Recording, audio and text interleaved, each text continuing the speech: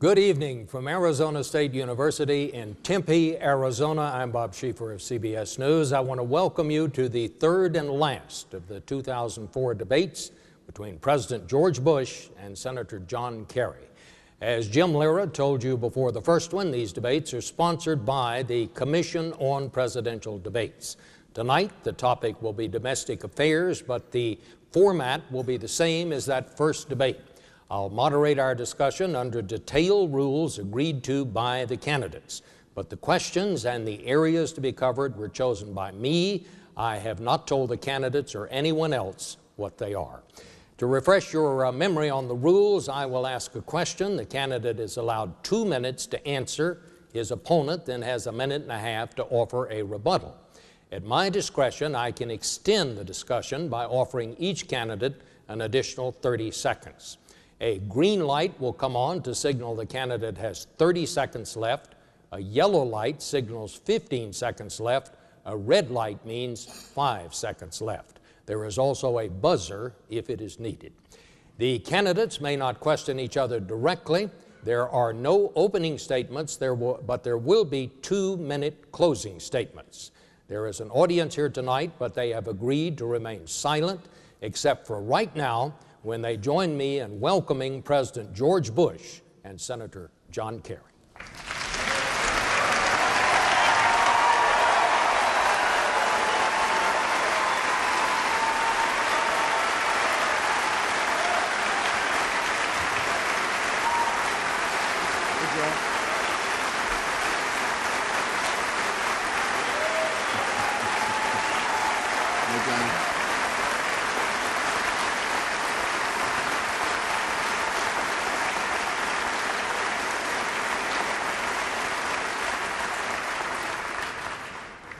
Gentlemen, welcome to you both. By uh, coin toss, the first question goes to Senator Kerry. Senator, I want to uh, set the stage for this discussion by asking the question that I think hangs over all of our politics today and is probably on the minds of many people watching this debate tonight, and that is Will our children and grandchildren ever live in a world as safe and secure as the world in which we grew up? Well, first of all, Bob, uh, thank you for uh, moderating tonight. Thank you, Arizona State, for welcoming us. And thank you to the Presidential Commission for undertaking this uh, enormous task. We're proud to be here. Mr. President, I'm glad to be here with you again to share similarities and differences with the American people. Will we ever be safe and secure again? Yes, we absolutely must be. That's the goal. Now, how do we achieve it? Is the most critical component of it. I believe that this president, regrettably, uh, rushed us into a war, made decisions about foreign policy, pushed alliances away, uh, and as a result, America is now bearing this extraordinary burden uh, where we are not as safe as we ought to be. The measurement is not are we safer, the measurement is are we as safe as we ought to be. And there are a host of options that this president had available to him, like uh, making sure that at all our ports in America, containers are inspected. Only 95% of them, uh, 95% come in today uninspected. That's not good enough. People who fly on airplanes today, the cargo hold is not x rayed, but the baggage is. That's not good enough. Firehouses don't have enough firefighters in them. Police officers are being cut from the streets of America because the president decided to cut the cops program. So we can do a better job of homeland security. I can do a better job of waging a smarter, more effective war on terror and guarantee that we go after the terrorists. I will hunt them down and we'll kill them, we'll capture them, we'll do whatever necessary to be safe. But I pledge this to you, America. I will do it in the way that Franklin Roosevelt and Ronald Reagan and John Kennedy and others did where we build the strongest alliances, where the world joins together, where we have the best intelligence, and where we are able ultimately to be more safe and secure. Mr. President, you have 90 seconds. Bob, thank you very much. I want to thank Arizona State as well. Uh, yes, we can be safe and secure if we stay on the offense against the terrorists and if we spread freedom and liberty around the world. Uh, I have got a comprehensive strategy to not only chase down Al Qaeda wherever it exists, and we're making progress, three quarters of Al Qaeda leaders have been brought to justice, but to make sure that countries who harbor terrorists are held to account And as a result of securing ourselves and ridding the Taliban out of Afghanistan, the Afghan people had elections this weekend. And the first voter was a 19 year old woman. Think about that. Freedom is on the march. We held to account a, a terrorist regime in Saddam Hussein. In other words, in order to make sure we're secure, there must be a comprehensive plan. My opponent just this weekend talked about how terrorism can be reduced to a nuisance, comparing it to prostitution and illegal gambling. I think that attitude and that point of view is dangerous. I don't think you can secure America for the long run if you don't have a comprehensive view as to how to defeat these people. At home, we'll do everything we can to protect the homeland. I signed the Homeland Security Bill to better align our assets and resources. My opponent voted against it. We're doing everything we can to protect our borders and ports. But absolutely, we can be secure in the long run. It just takes good, strong leadership. Anything to add, uh, Senator Kerry? Yes. When the president had an opportunity to capture or kill Osama bin Laden, he took his focus off of him, outsourced the job to Afghan warlords, and Osama bin Laden escaped. Six months after he said Osama bin Laden must be caught dead or alive, this president was asked, Where's Osama bin Laden? He said, I don't know. I don't really think about him very much. I'm not that concerned. We need a president who stays deadly focused on the real war on terror. Mr. President. Uh, gosh, I, d- I don't think I ever said I'm not worried about Osama bin Laden. That's kind of one of those uh, exaggerations. Of course, we're worried about Osama bin Laden. We're on the hunt after Osama bin Laden. We're using every asset at our disposal to get Osama bin Laden. My opponent said this war is a matter of intelligence and, and law enforcement. No, this is a war is a matter of using every asset our, at our disposal to keep the American people protected. New question, Mr. President, um, to you. Uh, we're talking about protecting ourselves uh, from the unexpected, but the flu season is suddenly upon us. Flu kills thousands of people every year. Suddenly, we find ourselves with a severe shortage of flu vaccine. How did that happen? Uh, Bob, we were reliant upon a company out of England to provide about half of the flu vaccines for the United States citizen, and it turned out that the vaccine they were producing was contaminated. And so we took the right action and didn't allow contaminated medicine into our country. We're working with Canada uh, to hopefully that they'll produce a help us realize the vaccine necessary to make sure our citizens have got flu vaccinations during this upcoming season. My call to our fellow Americans is if you're healthy, if you're younger, don't get a flu shot this year. Help us prioritize those who need to get the flu shot, the elderly and the young. The uh, CDC, responsible for health in the United States, is setting those priorities and is allocating the flu vaccine accordingly. I haven't gotten a flu shot and I don't intend to because I want to make sure that uh, those who are most vulnerable uh, get treated. Uh, we have a problem with litigation in the United States of America. Vaccine manufacturers are worried about getting sued, and so therefore they uh, have backed off from providing this kind of vaccine. One of the reasons I'm such a strong believer in legal reform is so that uh, people uh, aren't afraid of producing a product that is necessary for the health of our citizens and then end up getting sued in a court of law.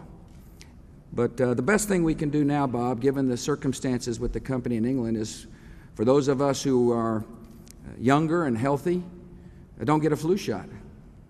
Senator Kerry? This really uh, underscores the problem with the American healthcare system. It's not working for the American family. And it's gotten worse under President Bush over the course of the last years. Five million Americans have lost their health insurance in this country.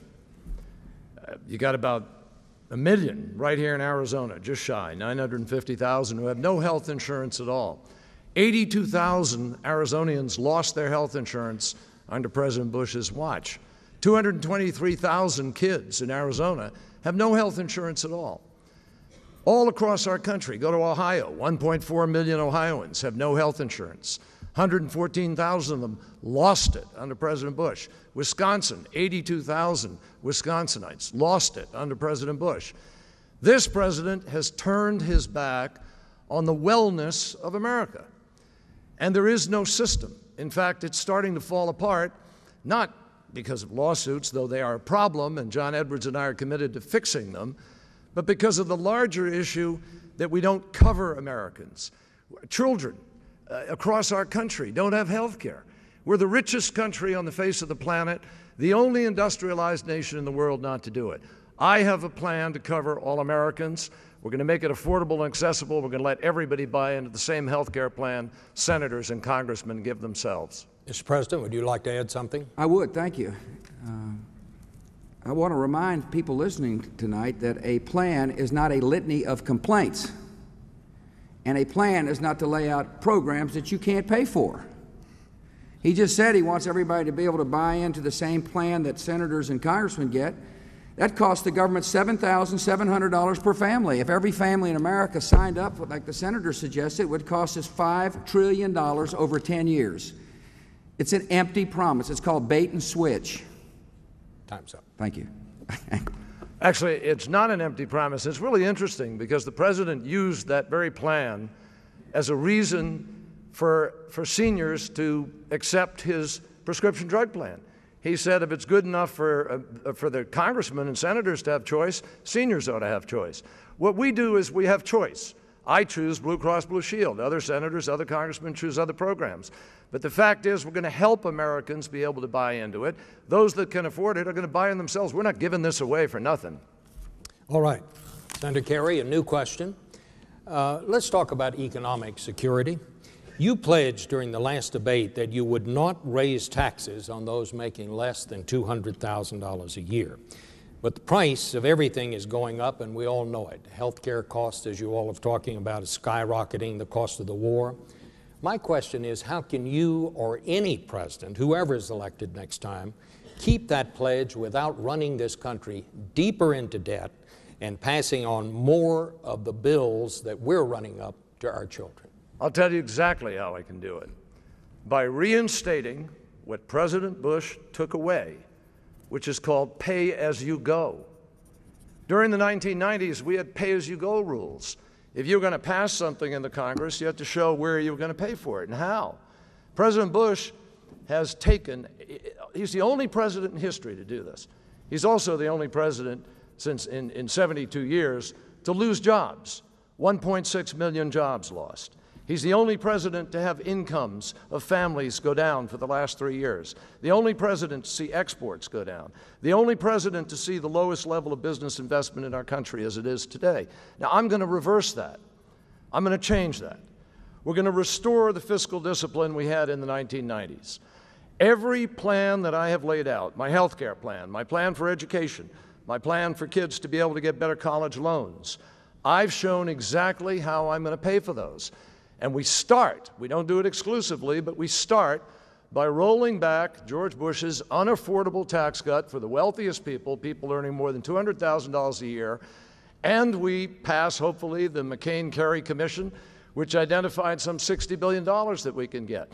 We, we shut the loophole, which has American workers actually subsidizing the loss of their own job. They just passed an expansion of that loophole in the last few days.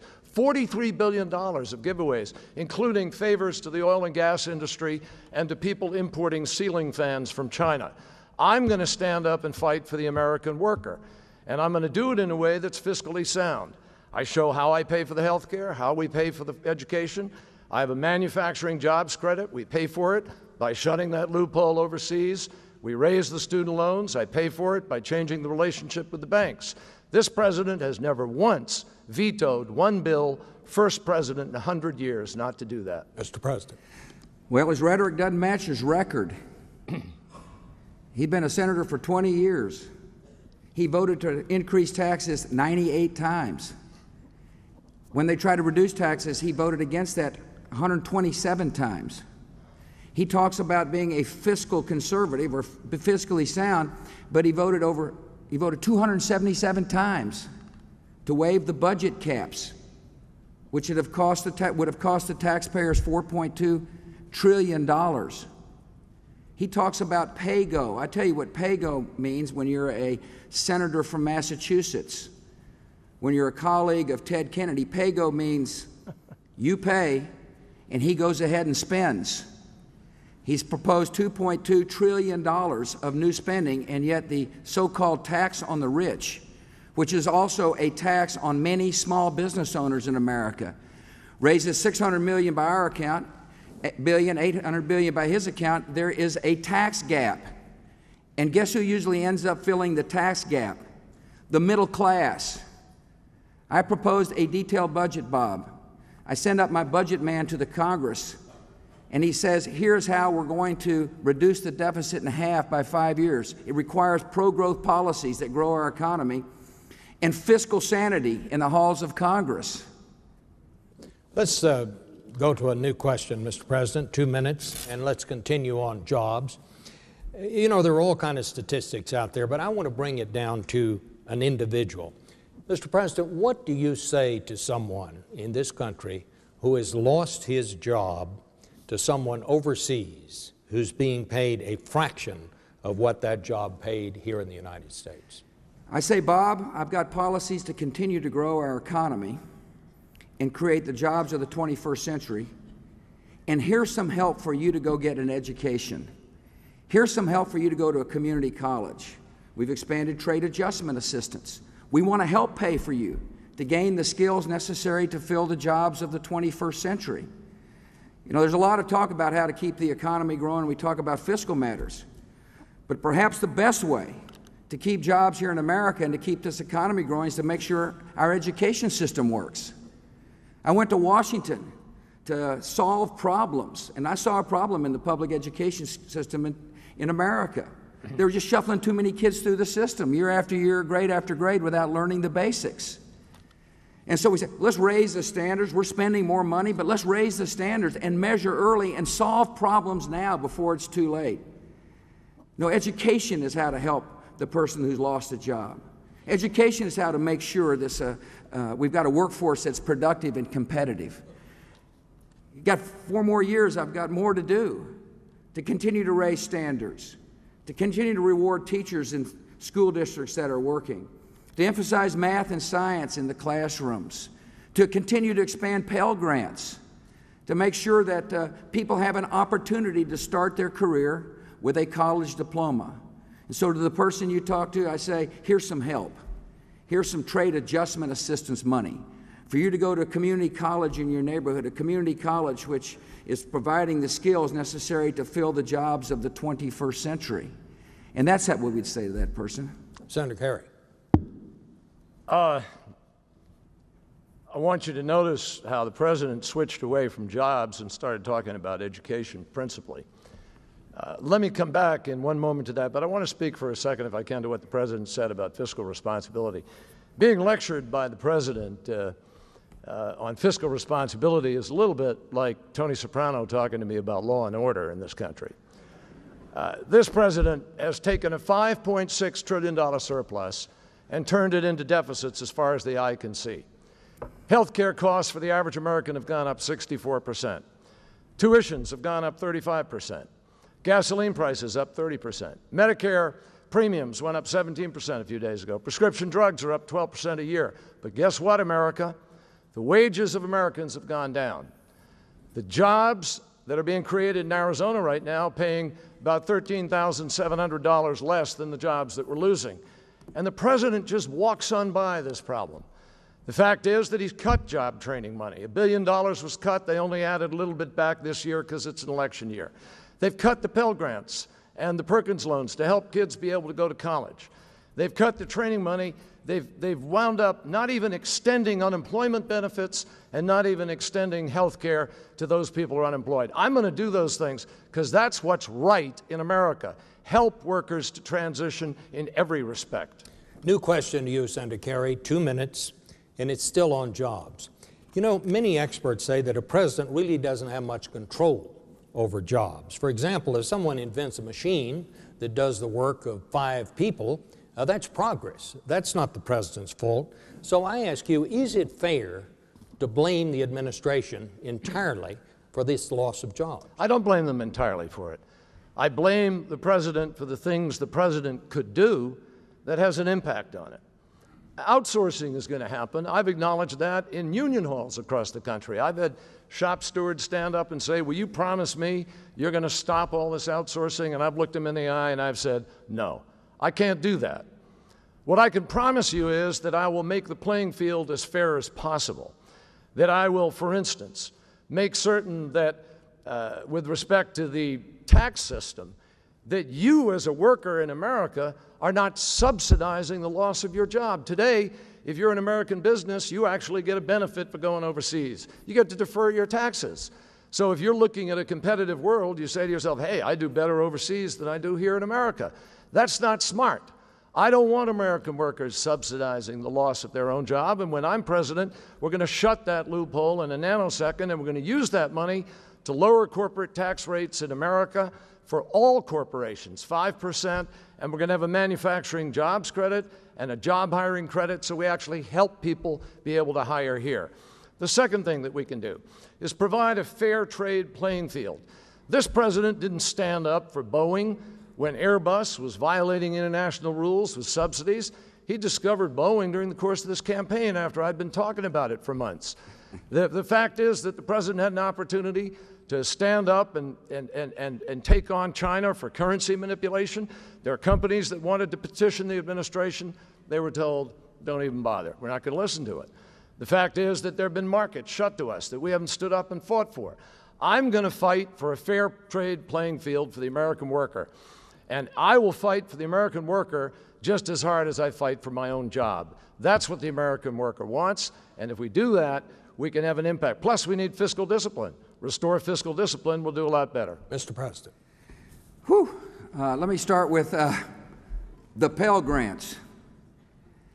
In his last litany of, uh, of uh, misstatements, he said we cut Pell Grants. We've increased Pell Grants by a million students. That's a fact. You know, he talks to the workers. Let me talk to the workers. You got more money in your pocket as a result of the tax relief we passed and he opposed. If you have a child, you got a $1,000 child credit. That's money in your pocket. If you're married, we reduced the marriage penalty. The code ought to encourage marriage, not discourage marriage. We created a 10% bracket to help lower income Americans. A family of four making $40,000 received about $1,700 in tax relief. It's your money. The way my opponent talks, he said we're going to spend the government's money. No, we're spending your money. And when you have more money in your pocket, you're able to better afford things you want. I believe the role of government is to stand side by side with our citizens to help them realize their dreams, not tell citizens how to live their lives. My opponent talks about fiscal sanity. His record in the United States Senate does not match his rhetoric. He voted to increase taxes 98 times and to bust the budget 277 times. Senator Kerry? Bob, anybody can play with these votes. Everybody knows that. I have supported or voted for tax cuts over 600 times. I broke with my party in order to balance the budget, and Ronald Reagan signed into law the tax cut that we voted for. I voted for IRA tax cuts. I voted for small business tax cuts. But you know why the Pell Grants have gone up in their numbers? Because more people qualify for them because they don't have money. But they're not getting the $5,100 the president promised them. They're getting less money. There are more people who qualify. That's not what we want. Senator, no one's playing when your votes. You voted to increase taxes 98 times. When they voted to, when, they proposed reducing taxes, you voted against 126 times. You voted to violate the budget caps 277 times. You, uh, you know, there's a mainstream in American politics, and you sit right on the far left bank. As a matter of fact, your record is such that Ted Kennedy, your colleague, is the conservative senator from Massachusetts. Mr. President, let's uh, get back to economic issues, but let's uh, shift to some other questions here. Both of you are opposed to gay marriage, but to understand how you have come to that conclusion, I want to ask you a more basic question. Do you believe homosexuality is a choice? You know, Bob, I don't know. I just don't know. I do know that we have a, a choice to make in America and that is to treat people with tolerance and respect and dignity. It's important that we do that.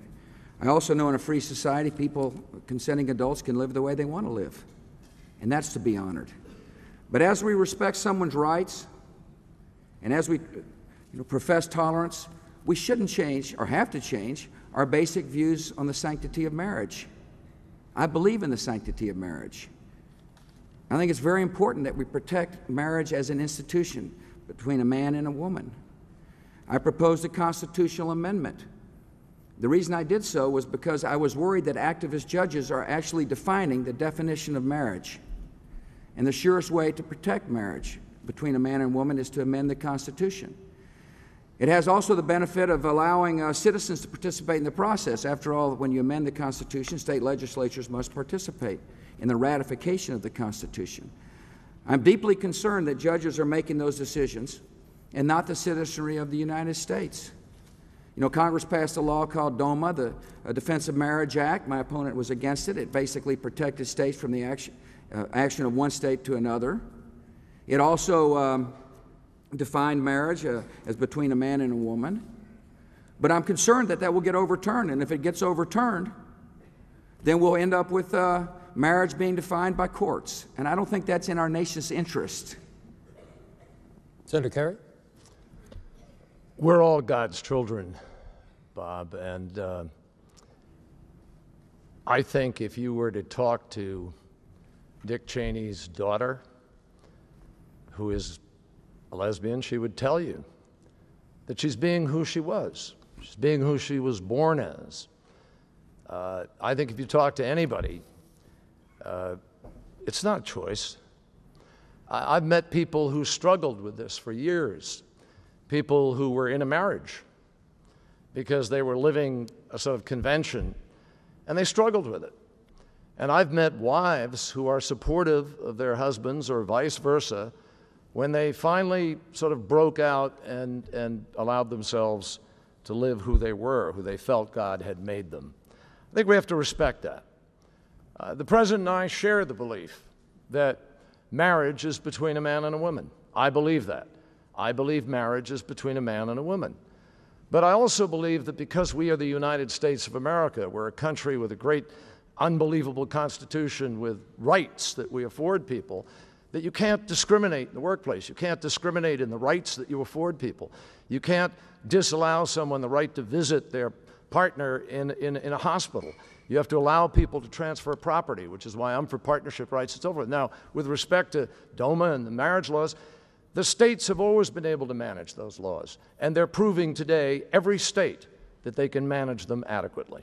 Senator Kerry, a new question for you. The New York Times reports that some Catholic archbishops are telling their church members that it would be a sin to vote for a candidate like you because you support a woman's right to choose an abortion and unlimited stem cell research. What is your reaction to that? I respect their views. Uh, I completely respect their views. I am a Catholic, and I grew up learning how to respect those views, but I disagree with them, as do many.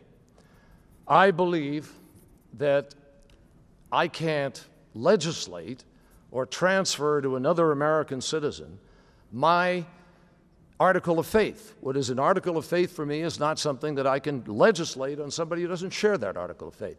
I believe that choice is a woman's choice between a woman, God, and her doctor. And that's why I support that. Now, I will not allow uh, somebody to come in and change Roe v. Wade. The president has never said whether or not he would do that. But we know from the people he's tried to point the court he wants to. I will not.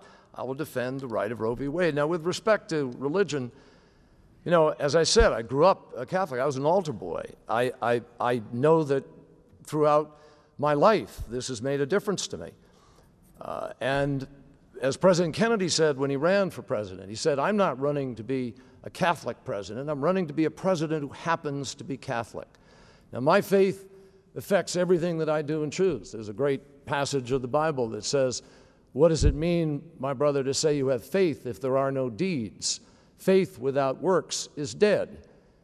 And I think that everything you do in public life has to be guided by your faith, affected by your faith, but without transferring it in any official way to other people.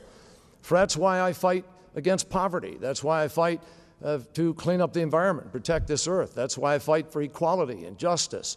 All of those things come out of that fundamental teaching and belief of faith. But I know this that President Kennedy, in his inaugural address, told all of us that here on earth, God's work must truly be our own. And that's what we have to say. I think that's the test of public service. Mr. President? Uh, I think it's important to promote a culture of life. I think a hospitable society is a, is a society where every being counts and every person matters. Uh, I believe uh, the ideal world is one in which every child is protected in law and welcome to life.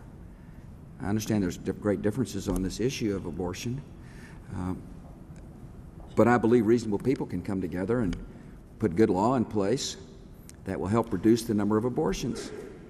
Take, for example, the ban on partial birth abortion. It's a brutal practice. People from, uh, from both political parties came together in the halls of Congress and voted overwhelmingly to ban that practice. It made a lot of sense.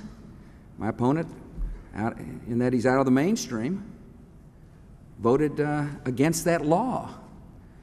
What I'm saying is, is that as we promote life and promote a culture of life, surely there are ways we can work together to reduce the number of abortions, continue to promote adoption laws. That's a great alternative to abortion. Continue to fund and promote maternity group homes.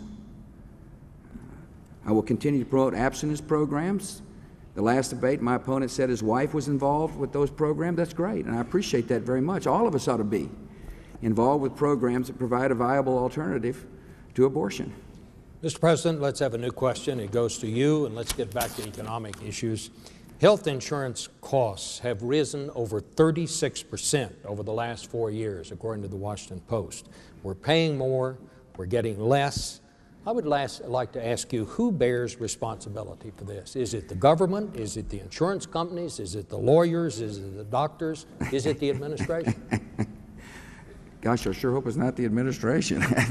no, there is a look here. There's a systemic problem. Healthcare costs are on the rise because the consumers are not involved in the decision-making process. Most healthcare costs are covered by third parties, and therefore the actual user of healthcare is not the purchaser of healthcare, and there's no market forces involved with healthcare. It's one of the reasons I'm a strong believer in what they call health savings accounts. These are accounts that allow somebody to buy a low premium, high deductible catastrophic plan and couple it with tax free savings.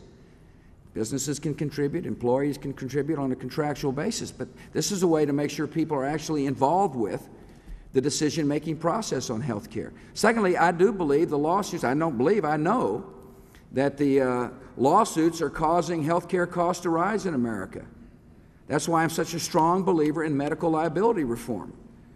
At last debate, my opponent said, well, they only, these lawsuits only cause costs to go up by 1%. Well, he didn't, he didn't include the defensive practice of medicine that costs the federal government some $28 billion a year and costs our society between 60 and $100 billion a year.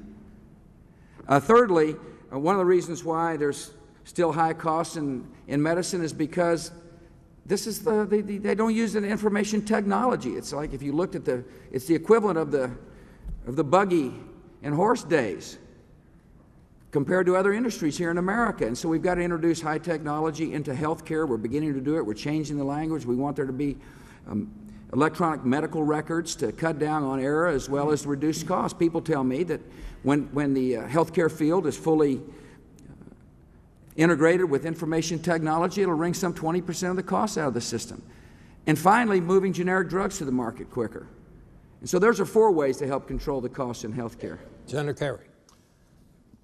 The reason health care costs are getting higher, uh, one of the principal reasons is that this administration has stood in the way of common sense efforts that would have reduced the cost. Let me give you a prime example. In the Senate, we passed the right of Americans to import drugs from Canada. But the president and his friends took it out in the House, and now you don't have that right. The president blocked you from the right to have less expensive drugs from Canada. We also wanted Medicare to be able to negotiate bulk purchasing. The VA does that. The VA provides lower cost uh, drugs to our veterans. We could have done that in Medicare. Medicare is paid for by the American taxpayer. Medicare belongs to you. Medicare is for seniors who are, many of them, on fixed income to lift them out of poverty. But rather than help you, the taxpayer, have a lower cost, rather than help seniors have less expensive drugs, the president made it illegal, illegal for Medicare to actually go out and bargain for lower prices. Result $139 billion windfall profit to the drug companies coming out of your pockets. That's a large part of your 17% increase in Medicare premiums. When I'm president, I'm sending that back to Congress and we're going to get a real prescription drug benefit. Now, we also have people sicker because they don't have health insurance. So, whether it's diabetes or cancer, they come to hospitals later and it costs America more. we got to have health care for all Americans. Well, Senator, uh, go ahead, Mr. President. I think it's important since he uh, talked about the Medicare plan up. Has he been in the United States Senate for 20 years? He has no record on reforming of health care. No record at all. He introduced some 300 bills and he's passed five. No record of leadership. I came to Washington to solve problems. I was deeply concerned about seniors having to choose between prescription drugs and food. And so I led. And in 2006, our seniors will get a prescription drug coverage in Medicare. Senator Kerry? 30 seconds. Uh, once again, the president's misleading America. I've actually passed 56 individual bills that I've personally written. And in addition to that, they're not always under my name. There's amendments and certain bills. But more importantly, uh, with respect to the uh, uh, question of no record, I helped write, I did write, I was one of the original authors of the early childhood uh, health care and the expansion of health care that we did in the middle of the 1990s. And I'm very proud of that. So, President's wrong. Let me uh, direct the next question to you, Senator Kerry. And again, let's stay on, uh, on health care. You have, as uh, you have uh, proposed, and as the President has commented on tonight, proposed a massive plan uh, to extend health care coverage to children. You're also talking about the government picking up a big part of the catastrophic uh, uh, bills that people get at the hospital. And you have said that you can pay for this by rolling back the President's tax cut on the upper 2%. Uh, you heard the president say earlier tonight that it's going to cost a whole lot more money than that. I just ask you, uh, where are you going to get the money? Well, two leading national news networks have both said the president's characterization of my health care plan is incorrect. One called it fiction, the other called it untrue. The fact is that my health care plan, America, is very simple. It gives you the choice. I don't force you to do anything. It's not a government plan. The government doesn't require you to do anything. You choose your doctor, you choose your plan. If you don't want to take the offer of the plan that I want to put forward, you don't have to. You can keep what you have today, keep a high deductible, keep high premiums, keep a high uh, copay, keep low benefits, but I got a better plan. And I don't think a lot of people are going to want to keep what they have today. Here's what I do we take over Medicaid children from the states so that every child in America is covered. And in exchange, if the states want to, they're not forced to, they can choose to, they cover individuals up to 300% of poverty. It's their choice. I think they'll choose it because it's a net plus of $5 billion to them. We allow you, if you choose to, you don't have to, but we give you broader competition to allow you to buy into the same health care plan that senators and congressmen give themselves. If it's good enough for us, it's good enough for every American. I believe that your health care is just as important as any politician in Washington, D.C. If you want to buy into it, you can. We give you broader competition. That helps lower prices. In addition to that, we're going to allow people 55 to 64 to buy into Medicare early. And most importantly, we give small business a 50% tax credit so that after we lower the cost of health care, they also get, whether they're self employed or a small business, a lower cost to be able to cover their employees. Now, what happens is when you begin to get people covered like that, for instance, in diabetes, if you diagnose diabetes early, you could save $50 billion in the healthcare system of America by avoiding surgery and dialysis. It works, and I'm going to offer it to America. Mr. President.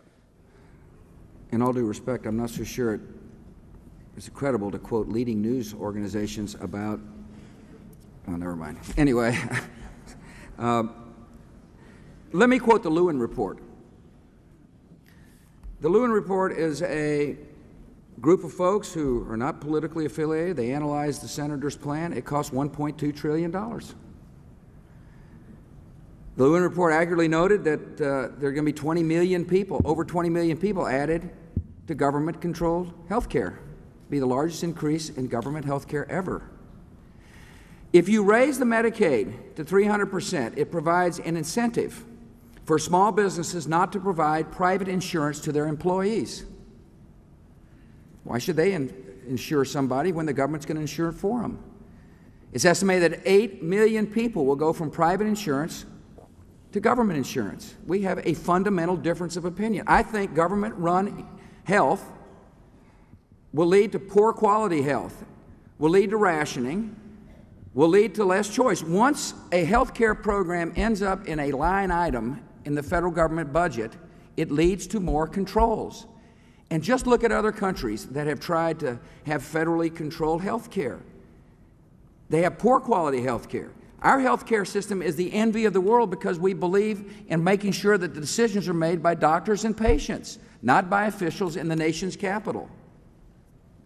Senator? The President just said that government run health care uh, results in poor quality. Now, maybe that explains why he hasn't fully funded the VA and the VA hospital is having trouble and veterans are complaining. Maybe that explains why Medicare patients are complaining about being pushed off of Medicare. He doesn't adequately fund it. But let me just say to America I am not proposing a government run program. That's not what I have. I have Blue Cross Blue Shield. Senators and congressmen have a wide choice. Americans ought to have it too. Mr. President. We talk about the VA. We've increased VA funding by 22 billion in the 4 years since I've been president. That's twice the amount that my predecessor increased VA funding. Of course we're meeting our obligation to our veterans, and the veterans know that. We're expanding veterans health care throughout the country. We're aligning facilities where the veterans live now. Veterans are getting very good health care under my administration, and they will continue to do so in, during the next four years. Mr. President, the next question is to you. Um, we all know that Social Security is running out of money, and it has to be fixed. You have proposed to fix it by letting people put some of the money collected to pay benefits into private savings accounts, but the critics are saying that's going to mean finding a trillion dollars over the next 10 years to continue paying benefits as those accounts are being set up. So, where do you get the money? Are you going to have to increase the deficit by that much over 10 years? Bob, first, let me make sure that every senior listening today understands that when we're talking about reforming Social Security, that they'll still get their checks. I remember the 2000 campaign. People said, if George W. gets elected, your check will be taken away. Well, people got their checks, and they will continue to get their checks. Uh, there is a problem for our youngsters a real problem. And if we don't act today, the problem will be uh, valued in the trillions. And so I think we need to think differently. We'll honor our commitment to our seniors, but for, young, for our children our grandchildren, we need to have a different strategy. And recognizing that, I called together a group of our fellow citizens to study the issue. It was a committee chaired by the late Senator Daniel Patrick Moynihan of New York, a Democrat. And they came up with a variety of ideas for people to look at. I believe that younger workers ought to be allowed to take some of their own money and put it in a personal savings account because I understand that they need to get better rates of return than the rates of return being given in the current Social Security trust. And the compounding rate of interest effect will make it more likely that the Social Security system is solvent for our children and our grandchildren. I will work with Republicans and Democrats. It'll be a vital issue in my second term. It is an issue that I'm willing to take on. And so I'll bring Republicans and Democrats together, and we're, of course, going to have to consider the cost. But I want to warn my fellow citizens the cost of doing nothing, the cost of saying the current system is okay, far exceeds the cost of trying to make sure we save the system for our children. Senator Kerry. You just heard the president say that young people ought to be able to take money out of Social Security and put it in their own accounts. Now, my fellow Americans, that's an invitation to disaster. The CBO said very clearly that if you were to adopt the president's plan, there'll be a $2 trillion hole in Social Security because today's workers pay into the system for today's retirees. And the CBO said, that's the Congressional Budget Office, it's bipartisan, they said that there would have to be a cut in benefits of 25 to 40 percent. Now, the president has never explained to America, ever, hasn't done it tonight, where does the transitional money, that $2 trillion, come from? He's already got $3 trillion, according to the Washington Post, of expenses that he's put on the line from his convention and the promises of this campaign, none of which are paid for. Not one of them are paid for. The fact is that the president is driving the largest deficits in American history. He's broken the pay as you go rules. I have a record of fighting for fiscal responsibility. In 1985, I was one of the first Democrats, broke with my party. We balanced the budget in the 90s. We paid down the debt for two years. And that's what we're going to do. We're going to, we're going to protect Social Security. I will not privatize it. I will not cut the benefits. And we're going to be fiscally responsible, and we will take care of Social Security. Let me just stay on Social Security with a new question for uh, Senator Kerry, because Senator Kerry, you have just said you will not cut benefits. Alan Greenspan, the chairman of the Federal Reserve, says there's no way that Social Security can pay retirees what we have promised them unless we recalibrate. What he's suggesting, we're going to have to cut benefits or we're going to have to raise retirement age. We may have to take some other reform. But if you've just said you've promised no changes, does that mean you're just going to leave this as a problem, another problem for our children to solve? Absolutely not, Bob. This is the same thing we heard. I remember I appeared on Meet the Press with Tim Russert in 1990 something. We heard the same thing. We fixed it. In fact, we put together a $5.6 trillion surplus in the 90s that was for the purpose of saving Social Security. If you take the tax cut that the President of the United States has given, President Bush gave to Americans in the top 1% of America. Just that tax cut that went to the top 1% of America would have saved Social Security until the year 2075. The president decided to give it to the wealthiest Americans in a tax cut. Now, Alan Greenspan, who I think has done a terrific job in monetary policy, supports the president's tax cut. I don't. I support it for the middle class, not that part of it that goes to people earning more than $200,000 a year. And when I roll it back and we invest in the things that I've talked about to move our economy, we're going to grow sufficiently that we begin to cut the deficit in half and we get back to where we were at the end of the 1990s when we balanced the budget and paid down the debt of this country. Now, we can do that. Now, if later on, after a period of time, we find that Social Security is in trouble, we'll pull together the top experts of the country. We'll do exactly what we did in the 1990s and we'll make whatever adjustment is necessary. But the first and most important thing is to start creating jobs in America. The jobs the president is creating pay $9,000 less than the jobs that we're losing.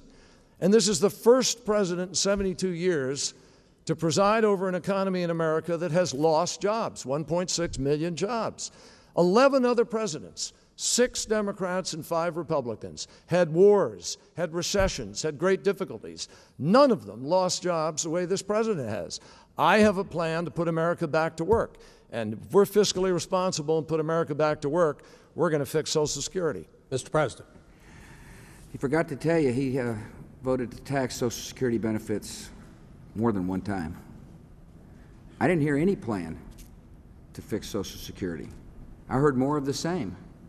He talks about middle class tax cuts. That's exactly where the tax cuts went. Most of the tax cuts went to low and middle income Americans. And now the tax code is more fair. 20% of the upper income people pay about 80% of the taxes in America today because of the, how we structured the tax cuts. People listening out there know the benefits of the tax cuts we passed. If you have a child, you got tax relief. If you're married, you got tax relief.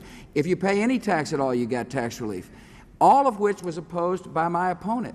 And the tax relief was important to spur consumption and investment to get us out of this recession.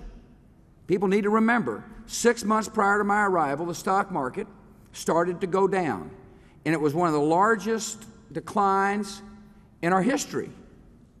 And then we had a recession and we got attacked, which cost us one million jobs. But we acted. I led the Congress. We passed tax relief. And now this economy is growing. We had 1.9 million new jobs over the last 13 months. Sure, there's more work to do. But the way to make sure our economy grows is not to raise taxes on small business owners, is not to increase the scope of the federal government, is to make sure we have fiscal sanity and keep taxes low. Let's go to a new question, Mr. President. Um, I got more email this week on this question than any other question, and it is about immigration. I'm told that at least 8,000 people cross our borders illegally every day. Some people believe this is a security issue, as you know. Some believe it's an economic issue. Some see it as a human rights issue.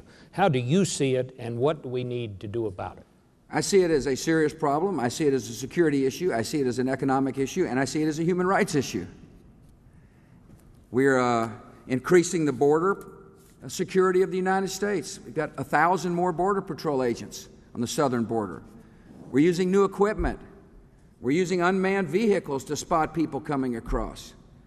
And we'll continue to do so over the next four years. It's a subject I'm very familiar with. After all, I was a border governor for a while.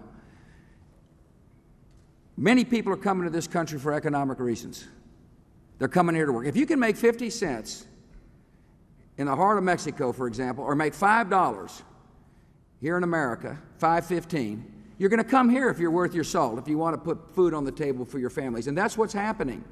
And so, in order to take pressure off the border, in order to make the borders more secure, I believe there ought to be a temporary worker card that allows a willing worker and a willing employer to mate up, so long as there's not a, uh, a, uh, an American willing to do the job, to join up in order to be able to fulfill the employer's needs.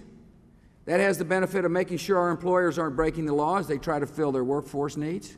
It makes sure that the people coming across the border are humanely treated, that they're not kept in the shadows of our society, that they're able to go back and forth to, to see their families. See, the card will have a, a period of time attached to it. It also means it takes pressure off the border. If somebody is coming here to work with a card, it means they're not going to have to sneak across the border.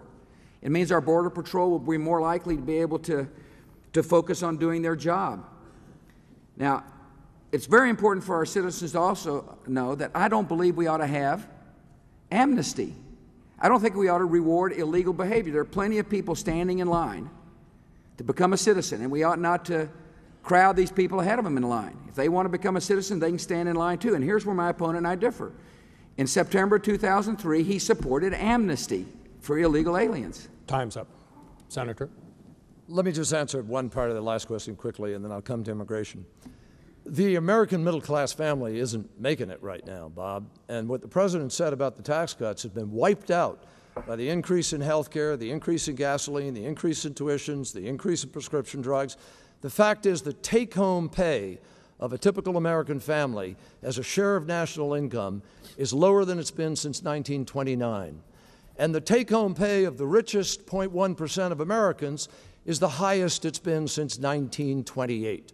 Under President Bush, the, the, the middle class has seen their tax burden go up, and the wealthiest tax burden has gone down. Now, that's wrong. Now, with respect to immigration reform, the president broke his promise on immigration reform. He said he would reform it. Four years later, he's now promising another plan. Here's what I'll do. Number one, the borders are more leaking today than they were before 9 11. The fact is, we haven't done what we need to do to toughen up our borders, and I will. Secondly, we need a guest worker program, but if it's all we have, it's not going to solve the problem. The second thing we need is to crack down on illegal hiring. It's against the law in the United States to hire people illegally, and we ought to be enforcing that law properly. And thirdly, we need an earned legalization program for people who've been here for a long time, stayed out of trouble, got a job, paid their taxes, and their kids are American, we've got to start moving them towards full citizenship out of the shadows. You want to respond, Mr. President? Well, to say that the borders are not as protected as they were prior to September the 11th shows he doesn't know the borders. They're much better protected today than they were when I was the governor of Texas. And we got much more manpower, much more equipment there. It's just he just doesn't understand how the borders work, evidently, to say that. That is an outrageous claim. And we'll continue to protect our borders. We'll continue to increase manpower and equipment. Senator? Uh, 4,000 people a day coming across the border. The fact is that uh, we now have uh, people from the Middle East, allegedly, coming across the border. Uh, and we're not doing what we ought to do in terms of the technology. We have iris identification technology. We have thumbprint, fingerprint technology today we can know who the people are, that they're really the people they say they are when they cross the border. We could speed it up. There are huge delays. The fact is, our borders are not as secure as they ought to be, and I'll make them secure. Next question to you, Senator Kerry. Um, the gap between rich and poor is growing wider. More people are dropping into poverty, yet the minimum wage has been stuck at, what, $5.15 an hour now for about seven years. Is it time to raise it? Well, I'm glad you raised that question. It's long overdue time to raise the minimum wage. And America, this is one of those issues that, that separates the president and myself. We have fought to try to raise the minimum wage in the last years, but the Republican leadership of the House and Senate won't even let us have a vote on it. We're not allowed to vote on it. They don't want to raise the minimum wage. The minimum wage is the lowest minimum wage value it has been in our nation in 50 years. If we raise the minimum wage, which I will do over several years to $7 an hour, 9.2 million women who are trying to raise their families would earn another $3,800 a year. The president has denied 9.2 million women $3,800 a year, but he doesn't hesitate to fight for $136,000 to a millionaire. 1% of America got $89 billion last year in a tax cut. But people working hard, playing by the rules, trying to take care of their kids, family values that we're supposed to value so much in America. I'm tired of politicians who talk about family values and don't value families. What we need to do is raise the minimum wage. We also need to hold on to equal pay. Women work for 76 cents on the dollar for the same work that men do. That's not right in America. And we had an initiative that we were working on to raise women's pay. They've cut it off, they've stopped it. They don't enforce these kinds of things. Now, I think that uh, it is a matter of fundamental right that if we raised the minimum wage, 15 million Americans would be positively affected. We'd put money into the hands of people who work hard, who obey the rules, who, who play for the American dream. And if we did that, we'd have more consumption ability in America, which is what we need right now in order to kick, kick our economy into gear. I will fight tooth and nail to pass the minimum wage. Mr. President. Actually, um, Mitch McConnell had a minimum wage plan that I supported, that it would have increased the minimum wage.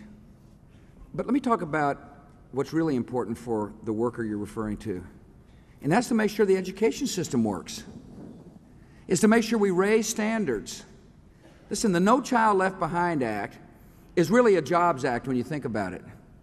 The No Child Left Behind Act says we'll raise standards, we'll increase uh, federal spending, but in return for extra spending, we now want people to measure, states and local jurisdictions to measure to show us whether or not a child can read or write or add and subtract.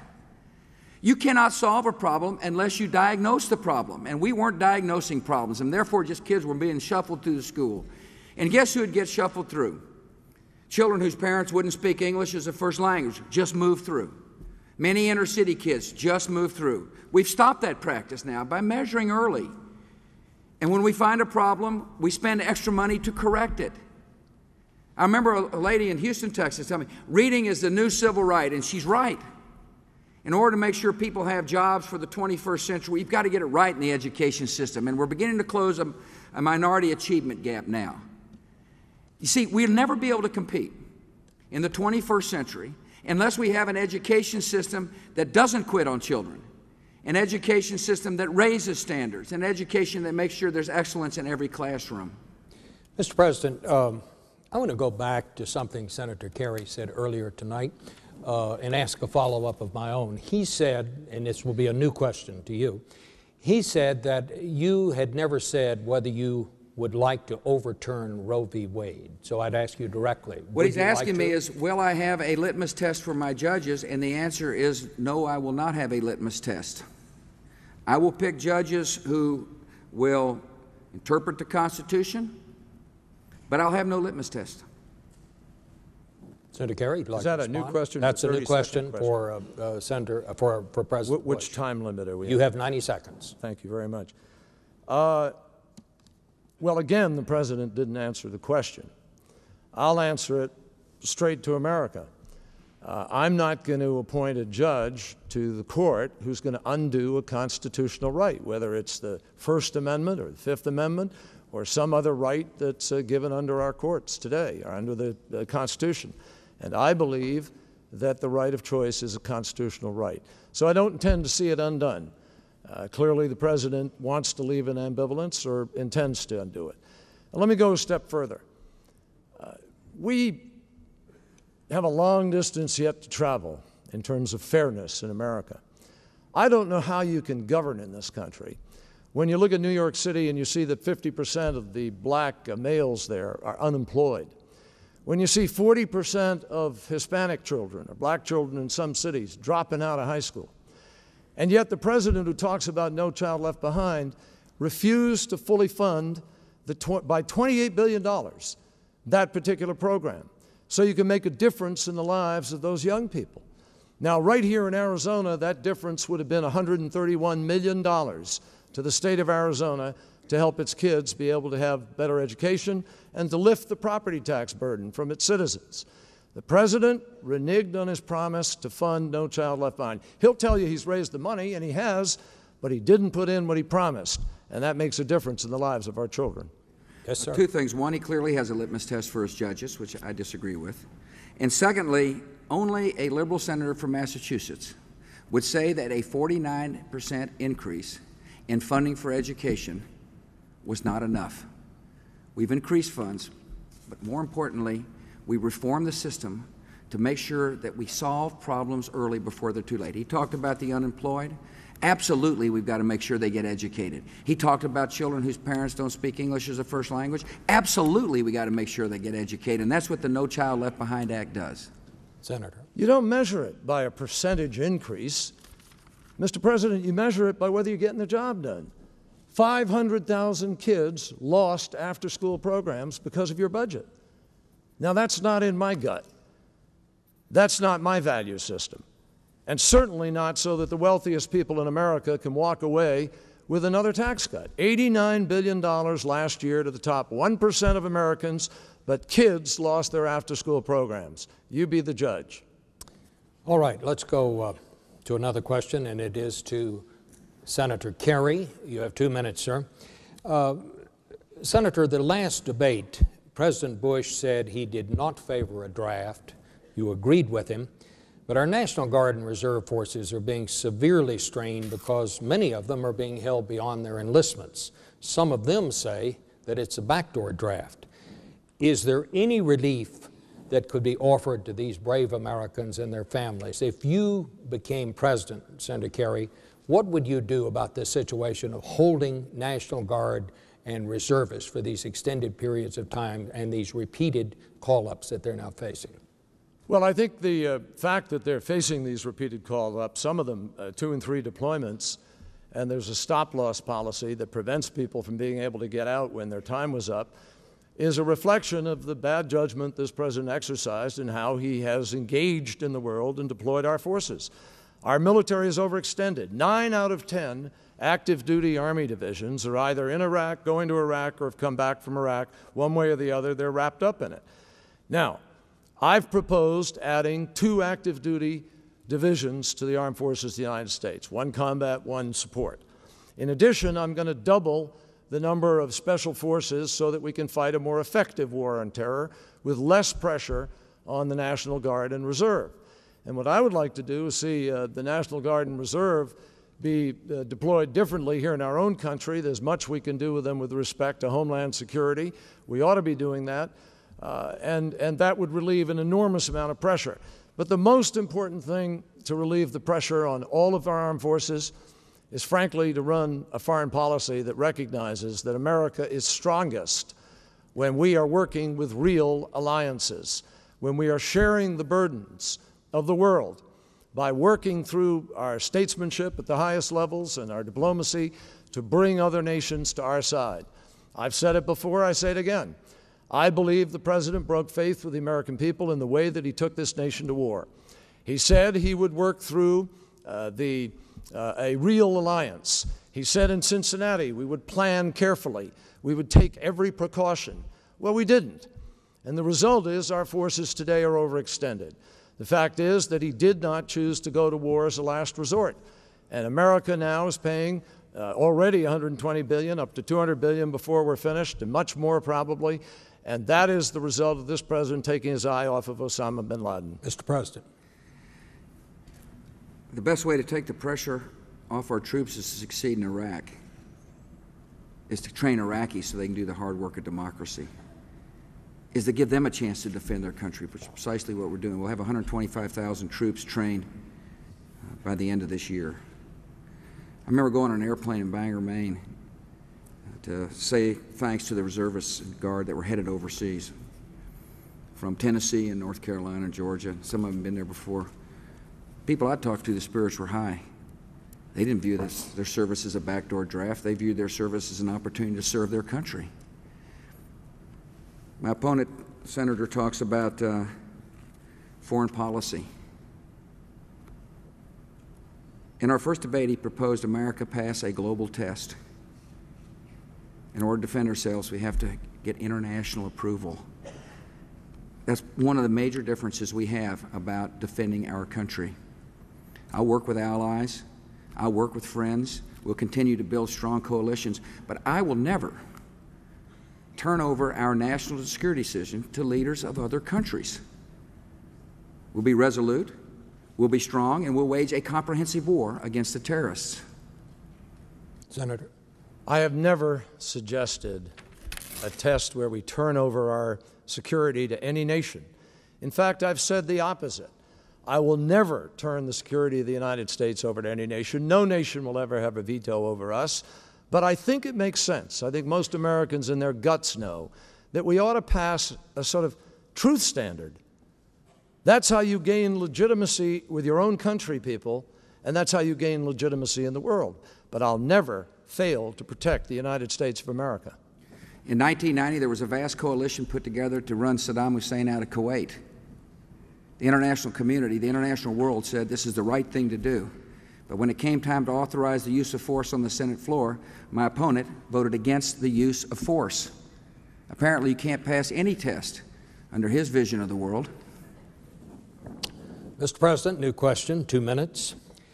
You said that if Congress would vote to extend the ban on assault weapons, that you'd sign the legislation, but you did nothing to encourage the Congress to extend it. Why not? Uh, actually, I uh, made my intentions, uh, my, my, views clear. I did think we ought to extend the assault weapons ban and was told the fact that the bill was never going to move because the Republicans and Democrats were against the assault weapon ban, people of both parties. Now, I believe law abiding citizens ought to be able to own a gun. I believe in background checks uh, at gun shows or anywhere to make sure that guns don't get in the hands of people that shouldn't have them. But the best way to protect our citizens from guns is to prosecute those who commit crimes with guns.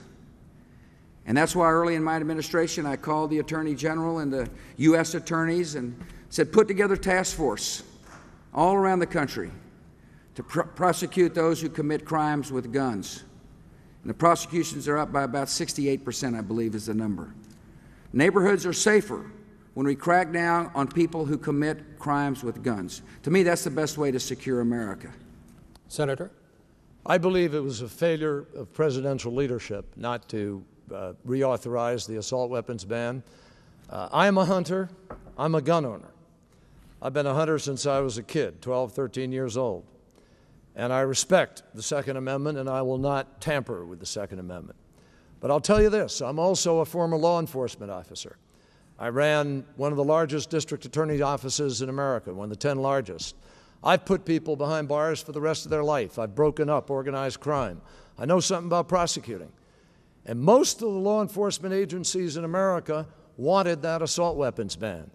They don't want to go into a drug bust and be facing an AK 47. I was hunting in Iowa last year with the sheriff from one of the counties there, and he pointed to a house in back of us and said, See that house over there? We just did a drug bust a week earlier. And the guy we arrested had an AK 47 lying on the bed right beside him. Because of the president's decision today, law enforcement officers will walk into a place that'll be more dangerous. Terrorists can now come into America and go to a gun show and, without even a background check, buy an assault weapon today. And that's what Osama bin Laden's handbook said because we captured it in Afghanistan and encouraged them to do it. So I believe America is less safe. If, if Tom DeLay or someone in the House said to me, sorry, we don't have the votes, I'd have said, then we're going to have a fight. And I'd have taken it out to the country and I'd have had every law enforcement officer in the country visit those congressmen. We'd have won what Bill Clinton won. Let's go to a new question. For you, Senator Kerry, two minutes. Affirmative action. Do you see a need for affirmative action programs, or have we moved far enough along that we no longer need to use race and gender as a factor in school admissions and federal and state contracts and so on? Uh, no, Bob, regrettably, we have not moved far enough along. Uh, and, and I regret to say that this administration has even blocked steps that could help us move further along. I'll give you an example. Uh, I'm the, uh, I've served on the Small Business Committee for a long time. I was chairman of it once. Now I'm the senior Democrat on it. We used to, you know, we have a goal there for minority set-aside programs to try to encourage ownership in the country. They don't reach those goals. They don't even fight to reach those goals. They've tried to undo them. The fact is that in too many parts of our country, we still have discrimination. And, and, and affirmative action is not just something that applies to people of color. Some people have a mistaken view of it in America. Uh, it also is with respect to women. It's with respect to other efforts to try to reach out and be inclusive in our country. Uh, I think that uh, we have a long way to go, regrettably. If you look at what's happened, uh, we've made progress. I want to say that at the same time. During the Clinton years, as you may recall, there was a fight over affirmative action. And there were many people, like myself, who opposed quotas, who felt there were places where it was overreaching. So we had a policy called mend it, don't end it. We fixed it. And we fixed it for a reason because there are too many people still in this country who feel the, the, the stark uh, uh, resistance of racism. And so we have a distance to travel. As president, I will make certain we travel it. Now, let me, let me just share something. This president is the first president ever, I think, not to, not to meet with NAACP. Uh, this is a president who hasn't met with the black congressional caucus. This is a president who has not met with the civil rights leadership of our country. If a president doesn't reach out and bring people in and be inclusive, then how are we going to get over those barriers? I see that as part of my job as president, and I'll make my best effort to do it. Mr. President. Well, first of all, it's, it is just not true that I haven't met with the Black Congressional Caucus. I met with the Black Congressional Caucus at the White House. And secondly, like my opponent, I, I, I don't agree we ought to have quotas. I agree. We shouldn't have quotas. But we ought to have an aggressive effort to make sure people are educated, to make sure when they get out of high school there's Pell Grants available for them, which is what we've done. We've expanded Pell Grants by a million students. Do you realize today in America we spend $73 billion to help 10 million low and middle income families better afford college. That's the access I believe is necessary, is to make sure every child learns to read, write, add, and subtract early, to be able to build on that education by going to college so they can start their careers with a college diploma. I believe the best, uh, best way to help our small businesses is not only through small business loans, which we have increased since I've been the President of the United States, but to unbundle government contracts so people have a chance to be able to bid and receive a contract to help get their business going. Minority ownership of businesses are up because we create an environment for the entrepreneurial spirit to be strong. I, think, I believe part of a, of a hopeful society is one in which somebody owns something. Today in America, more minorities own a home than ever before. And that's hopeful, and that's positive. Mr. President, let's go to a new question. You were asked before the invasion or after the invasion uh, of Iraq uh, if you checked with your dad. And I believe, I don't remember the quote exactly, but I believe you said you had checked with a higher authority. I would like to ask you uh, what part does your faith play on your policy decisions? First, my faith plays a lot, a big part in my life, and that's when I was answering that question. What I was really saying to the person was that I pray a lot, and I do. And my faith is a very, it's very personal. I pray for strength. I pray for wisdom. I pray for our troops in harm's way. I pray for my family. I pray for my little girls.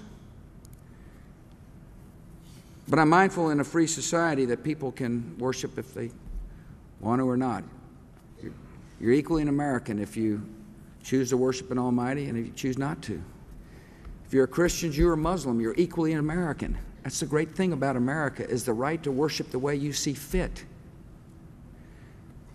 Prayer uh, and religion sustain me. I, I'm, I, I receive calmness in the storms of the presidency. I love the fact that people pray for me and my family all around the country. Somebody asked me one time, Well, how do you know? I said, I just feel it.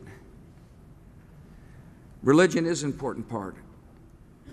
I never want to impose my religion on anybody else. But when I make decisions, I stand on principle. And the principles are derived from who I am. I believe we ought to love our neighbor like we love ourselves. It's manifested in public policy through the faith based initiative where we've unleashed the armies of compassion to help heal people who hurt. I believe that God wants everybody to be free. That's what I believe. And that's one of the, part of my foreign policy. In Afghanistan, I believe that the freedom there is a gift from the Almighty. And I can't tell you how encouraged I am to see freedom on the march. And so my principles that I make decisions on are a part of me, and religion is a part of me. Senator Kerry?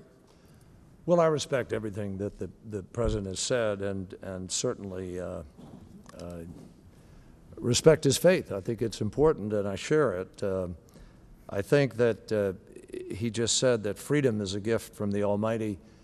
Uh, everything is a gift from the Almighty. And as I measure uh, the words of the Bible, and we all do, different people measure different things. The Quran, the Torah, or you know, Native Americans who gave me a blessing the other day uh, had their own special sense of connectedness to uh, a higher being. And people all find their ways to express it. Uh, I was taught, uh, I went to a church school, and I was taught that the two greatest commandments are love the Lord your God with all your mind, your body, and your soul, and love your neighbor as yourself. And frankly, I think we have a lot more loving of our neighbor to do in this country and on this planet. Uh, we have a separate and unequal school system in the United States of America. Uh, there's one for the people who have, and there's one for the people who don't have. And we're struggling with that today. Uh, the President and I have a difference of opinion about how we live out our, our sense of our faith. I talked about it earlier when I talked about the works and faith without works being dead. I think we've got a lot more work to do. And as President, I will always respect everybody's right to practice religion as they choose or not to practice, because that's part of America. Senator Kerry, um, after 9 11, and this is a new question for you, it seemed to me that the country came together as I've never seen it come together uh, since World War II. But some of that seems to have melted away. I think it's fair to say we've become pretty, pretty polarized, perhaps because of the political season. But if you were elected president, or whoever is elected president, uh, will you set a priority in trying to bring the nation back together, or what would be your attitude on that? Well, very much so. Let me pay a compliment to the president, if I may. I, I think in those days after uh, 9 11, I thought the president did a terrific job. And I really uh, was moved, as well as impressed, uh, by the speech that he gave to the Congress. And I think the hug Tom Daschle gave him at that moment was about as genuine a sense of there being no Democrats, no Republicans. We were all just Americans. That's where we were. That's not where we are today. I regret to say that the president, who called himself a uniter, not a divider, is now presiding over the most divided America in the recent memory of our country. I've never seen such ideological squabbles in the Congress of the United States. I've never seen members of a party locked out of meetings the way they're locked out today. We have to change that. And as president, I am committed to changing that. You know, I, I, I don't care if the idea comes from the other side or this side. I think we have to come together and work to change it. And I've done that. Over 20 years in the United States Senate, I've worked with John McCain, who's sitting here. I've worked with other colleagues. I've reached across the aisle. I've tried to find the common ground because that's what makes us strong as Americans. And if Americans trust me with the presidency, I can pledge to you we will have the most significant effort openly not secret meetings in the White House with special interests, not ideologically driven efforts to push people aside, but a genuine effort to try to restore America's hope and possibilities by bringing people together. And one of the ways we're going to do it is I'm going to work with my friend John McCain to further campaign finance reform so we get these incredible amounts of money out of the system and open it up to average people so America is really represented by the people who make up America. Mr. President? Uh, My biggest disappointment in Washington is uh, how partisan the town is. I had a record of working with uh, Republicans and Democrats as the governor of Texas, and I was hopeful to be able to do the same thing, and we made good progress early on. The No Child Left Behind Act, incredibly enough, uh, was, uh, was good work between me and my administration and people like Senator Ted Kennedy. And we worked together with Democrats to relieve the tax burden on the middle class and all who pay taxes in order to make sure this economy continues to grow. But Washington is a tough town, and I, the way I view it is there's a lot of entrenched special interests there. People who are, you know, on one side of the issue or another, and they spend enormous sums of money, and they convince different senators to tout their way or different congressmen to, you know, talk about their issue, and they dig in. I'll continue in the four years to continue to try to work to do so. But the, my opponent said this is a, you know, bitterly divided time. Pretty divided in the 2000 election. So in other words, it's pretty divided during the 1990s as well. We're just in a period, and we've got to work to, to bring it up. My opponent keeps mentioning John McCain, and I, I'm glad he did. John McCain is for me for president because he understands I have the right view in winning the war on terror and that my plan will succeed in Iraq, and my opponent has got a plan of retreat and defeat in Iraq. We've come, gentlemen, to our last question. And it occurred to me as I came to this debate tonight that the three of us share something. All three of us are surrounded by very strong women. That's right. We're all married to strong women. Each of us have two daughters that make us very proud. I'd like to ask each of you what is the most important thing you've learned from these strong women? To listen to them.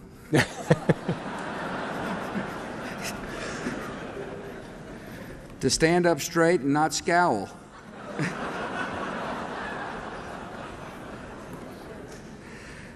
I love the strong women around me.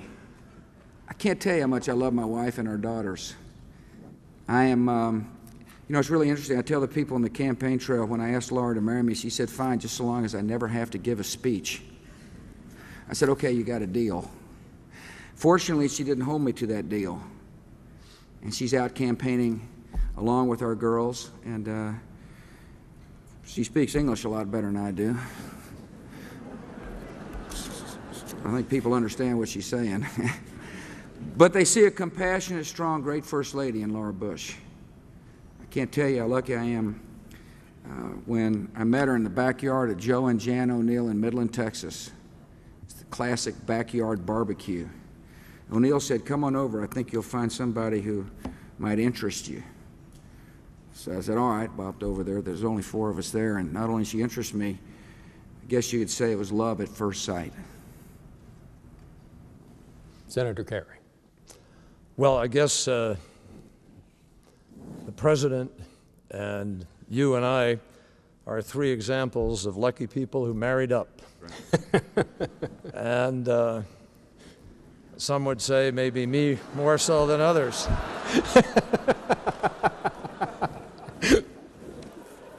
but I can take it.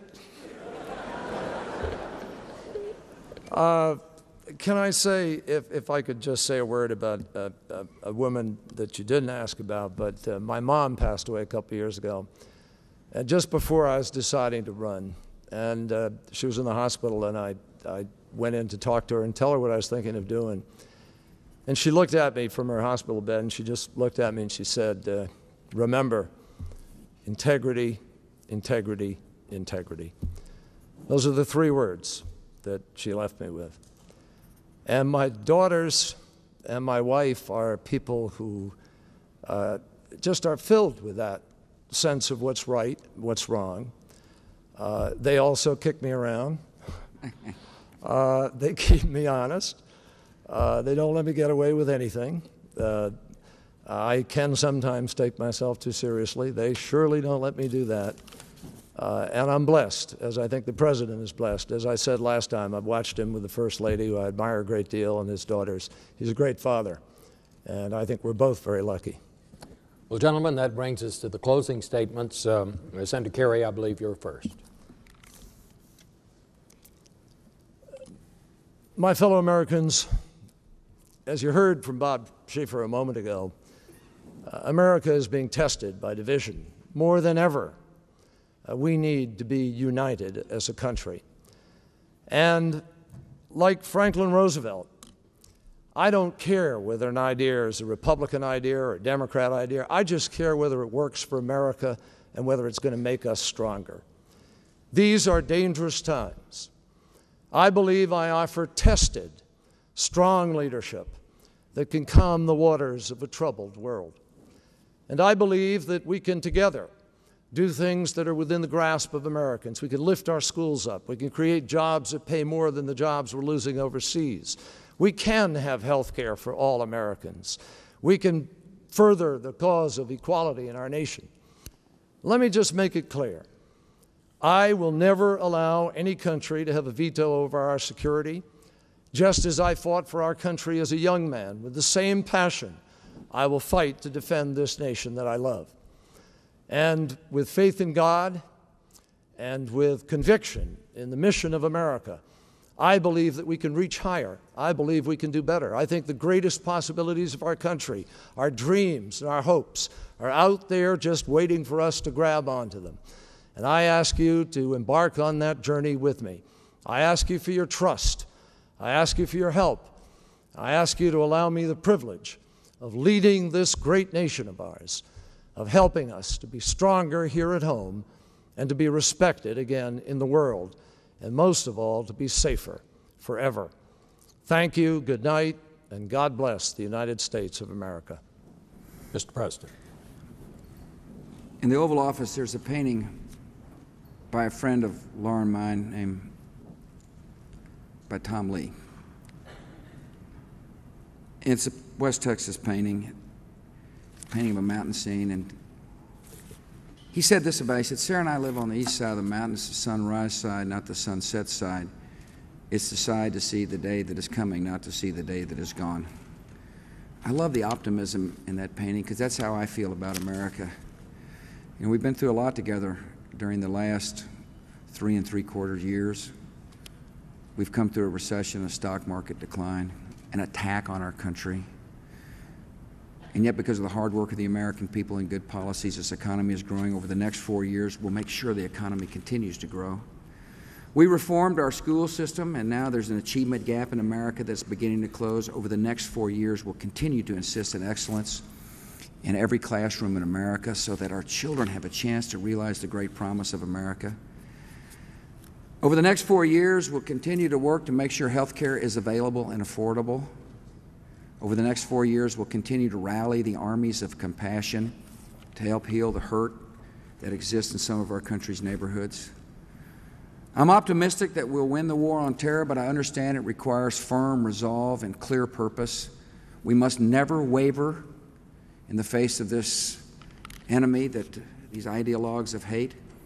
And as we pursue the enemy wherever it exists, we'll also spread freedom and liberty. We got great faith in the ability of liberty to transform societies, to convert hostile, hostile world to a peaceful world. My hope for America is a prosperous America, a hopeful America, and a safer world. I want to thank you for listening tonight. I'm asking for your vote. God bless you. Thank you, Mr. President. Thank you, Senator Kerry. Well, that brings these debates to a close, but the campaign goes on. I want to wish both of you the very best of luck between now and Election Day. That's it for us from Arizona State University in Tempe, Arizona. I'm Bob Schieffer CBS News. Good night, everyone. Good job.